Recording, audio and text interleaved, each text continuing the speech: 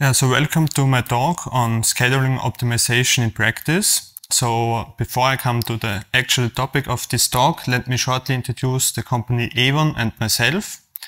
So evon works in the field of software development and services. So in particular, we are developing an automation platform called XAMcontrol. evon was founded in 2009 and the headquarters located in St. Ruprecht an der Raab, which is in the east of Graz and the number of employees is about 95. About me, I'm a mathematician and software developer at evon with a strong focus on algorithmic um, and optimization problems. And one of these optimization problems we are working a lot um, is scheduling, so the actual topic of this talk. So in this talk, um, I want to give you a short overview on this topic of scheduling guided by the following three questions. So what is actually scheduling and scheduling optimization?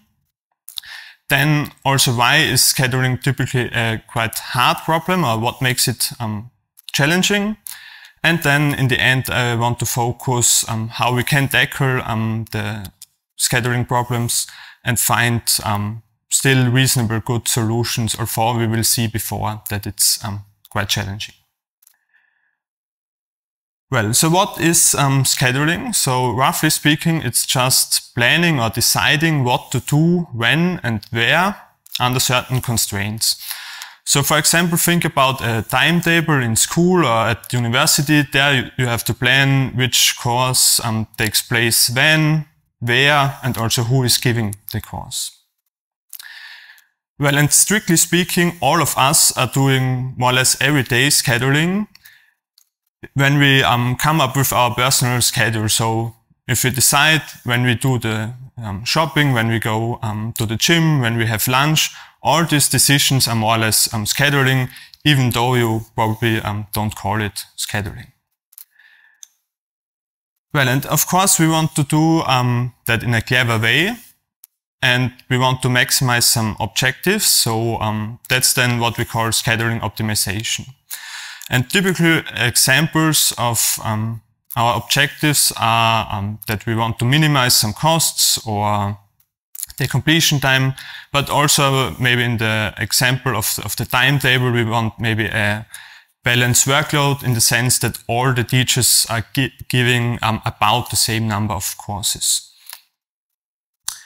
Well, so now um, I want to show you a more concrete example, an example um, in manufacturing. So um, assume we have um, various tasks, so four in this case, and this task consists of some um, jobs, and all these jobs require some um, machines. So for example, the first task um, requires first for three hours the machine one, then for two hours the machine two, and then for four hours the machine three. Well, and now we want to find a schedule for um, all these tasks. So um, the jobs have to be performed all um, directly after each other. So the schedule maybe looks like that. So we see in this example that maybe we start with the task 3 on machine um, 2. Then after 3 um, hours we swap to um, machine 1. Then after 4 hours we currently start with the task 2 and so on and so forth. So we see that um, the task one is um, started quite late and the task four even later. Well, and in total, um, we require 22 hours in this um, schedule. Now, um, if you would like to have a small um, puzzle, just pause the video and try to come up with a better schedule, so a schedule with an earlier completion time. Well, and if you do so, you will already see that it's not so easy to imp improve this schedule and that it's even harder to come up with the best um, schedule, so the one with the earliest completion at all. Well, and that leads me already to the next um, guiding question, which is why is scheduling typically a quite hard um, problem? So let me first start with some theoretical reasons why um, scheduling is hard or why it seems to be hard. So um, the first one is just that the number of possible schedulers, so the number of possible solutions, is typically quite large. So for example, if we have um, 13 tasks, we already have 13 factorial um, many options in our orderings in which we can start the tasks. And that's already a very huge number with 33 um, digits. And even with modern computers, um, it would um, take billions of years to consider all of them. Well, another reason why it's um, quite um, difficult is that the, typically when we schedule one task um, that has a huge impact to all the other tasks. So for example, think about a train um, schedule. If one train is delayed, that causes typically um, a delay of other trains, which then cause further delays. So just changing the schedule of one task um, can lead to a large um, chain reaction and influence all the other tasks. Well, so while this were, let's say, more to informal reasons why scheduling seems to be hard, um, there's also a much more rigorous theory, a mathematical theory, dealing um, with the question how um, hard certain problems are. And this theory tells us the following, that um, most of the scheduling pro problems are so-called um, NP hard. That means that no efficient algorithm is known. So no um, algorithm um, or efficient algorithm solves the, the problem um, in an optimal way, so finds really the best um, solution. Well, so we know that even in theory and um, so in the ideal world, um, scheduling is a hard problem. And then on top of that, there are of course also some um, practical reasons which makes it even harder. So um, to mention a few, um, one is that the, some of the constraints are quite often quite complex or hidden. So think about our manufacturing example. So maybe um, the machines um, tend to overheat if we um, use them um, for uh, too long. But maybe that's not known before we start our optimization because before we um, optimize, maybe we have only schedules um, which are, let's say, quite bad and where we do not use the machines for a long consecutive time. So maybe we do not know that um, the machines tend to overheat. So we know that only after the optimization, which makes it, of course, much more difficult. Well, another point is that, of course, there can be some uncertainties or changes. So maybe a machine breaks down. And of course, we also do not know that beforehand when we already, or when we um, schedule our tasks. Well, so that are some reasons why scheduling is um, a, a, hard problem. So you might think now that I can stop and that, yeah, we cannot do um, anything. So it's maybe just too hard. But um, the nice and cool thing is that in practice we can still do something and um, we can still find some reasonable um, solutions. And that's the um, last part of, of my talk. So how can we do that? So here I want to start, let's say, with the um, typical workflow we use when we um, tackle an, an, scheduling problem. So first, um, yeah, we try to gather all the data and information. So we define our problem in a really rigorous um, way. We get all the jobs, the tasks, describe all um, ob objectives we have, all constraints, and in, in practice that can really um, a lot of, of, constraints we can have.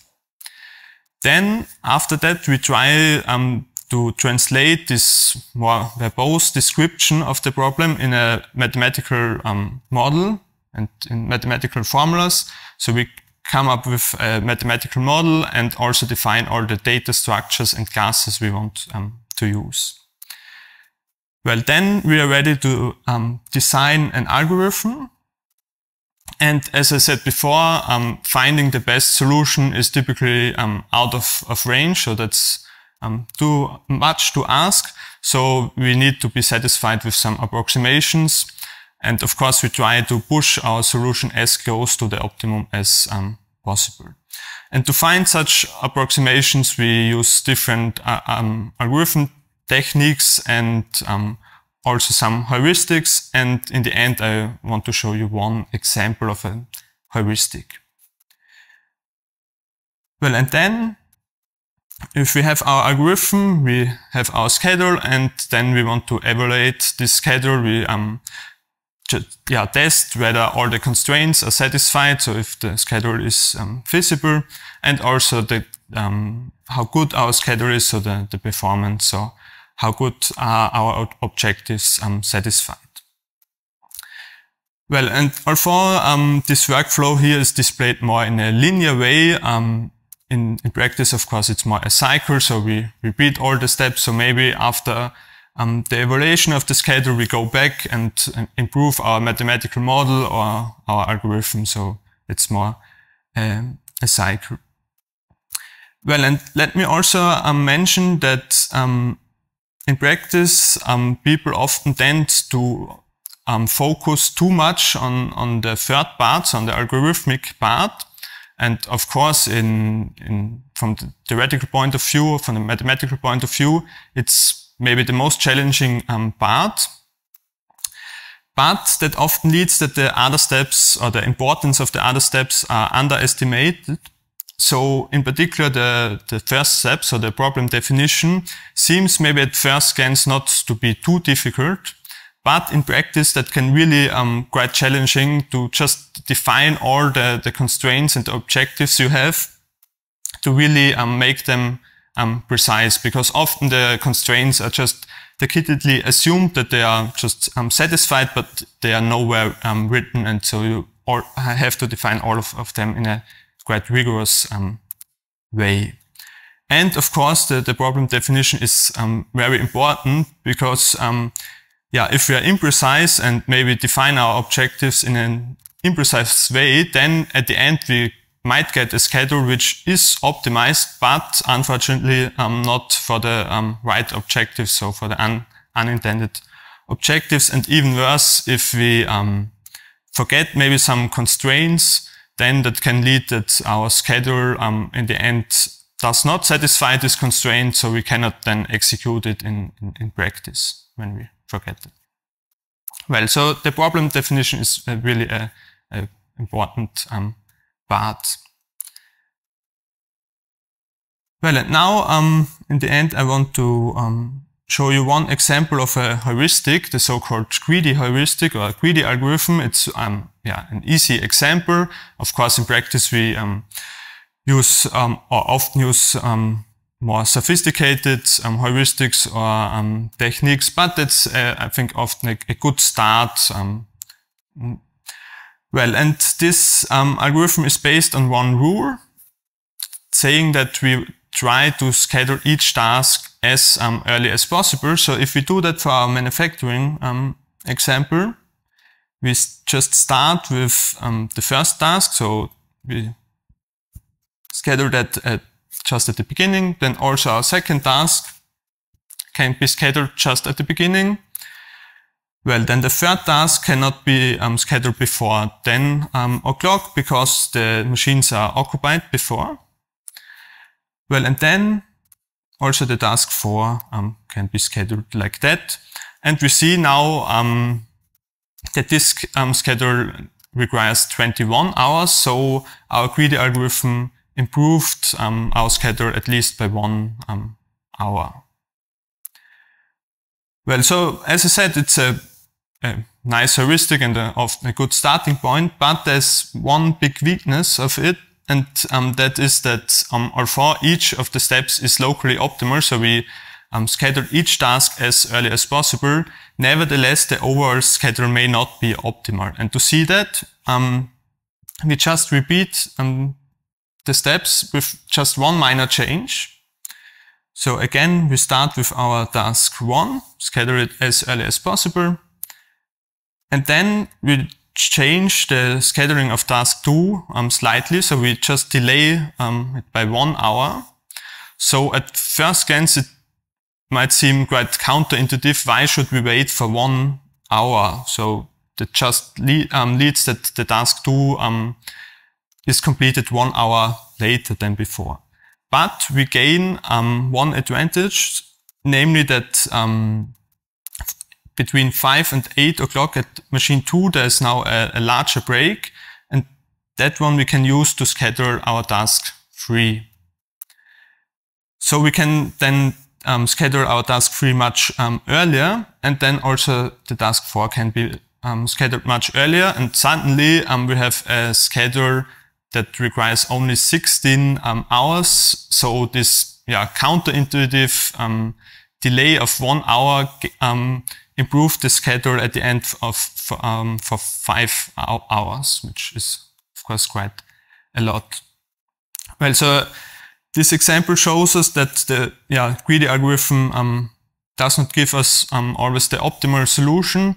And I think it's also a good example of seeing um, how much impact the, the change of just one scheduling um, can have. So just ch um, changing the, the, the scheduling of task two just for a, um, yeah, just a minor change really leads um, to a big um, change in, in the in for the total um, schedule. Well, so um, if you tried the puzzle, I hope um, you also came up with this um, schedule because it's the optimal one, so the best one one can get. Well, with that, I want to conclude my talk. Thank you very much for your attention.